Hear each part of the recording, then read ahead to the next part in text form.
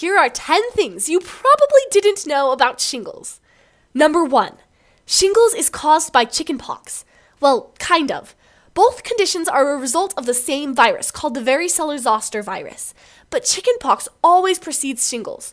So the good news is that if you haven't had chickenpox yet, you're off the hook for shingles.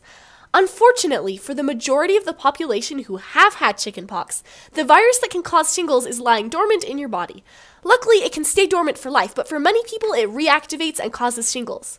Number two, vaccines are available to aid against shingles. A shingles vaccine should only be administered to people who are 50 years old or older, possibly because that's the most common age range for someone to be diagnosed with shingles. However, getting a shingles vaccine doesn't immunize you from getting shingles. Just about 50% of people who are vaccinated are protected from shingles.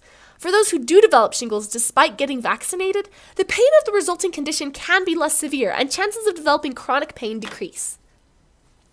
Number 3. Shingles is more common than you might think. About 20% of Americans will contract shingles at some point in their life. That's a staggering 1 in 5. Most cases occur in people 50 years old or older, but cases can occur at any age, with the only precondition being a previous case of chickenpox, a requirement satisfied by most of the population. Number 4. The virus that causes shingles never leaves your body. We learned earlier that shingles is caused by a dormant virus, and when the condition has run its course, the virus goes back to being dormant. Because of this, there is no cure for shingles, as the virus can never be removed from the body. Number 5. Shingles can be contagious. Sort of.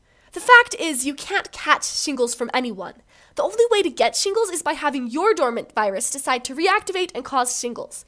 However, shingles can be contagious if the person being infected has never had chickenpox before. And when that happens, it causes chickenpox rather than shingles. This is good news for the majority of the population who has had chickenpox, but for the few who haven't, people with shingles should be avoided. Number 6. Shingles can reoccur. Like chickenpox, you can get shingles more than once, but cases are rare. For most people, the virus never reactivates a second time. Number 7.